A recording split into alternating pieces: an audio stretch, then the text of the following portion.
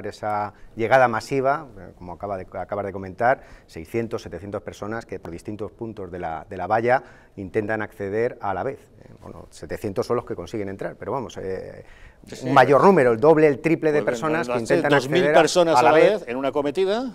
Los compañeros, yo vuelvo a insistir, deben de estar bien dotados de material. El tema del material es fundamental. Ese material lo que va a servir es para que puedan eh, realizar sus funciones de la forma más profesional y más correcta. Y lógicamente para evitar Claro, porque antes el inmigrante se quedaba en lo alto de la valla,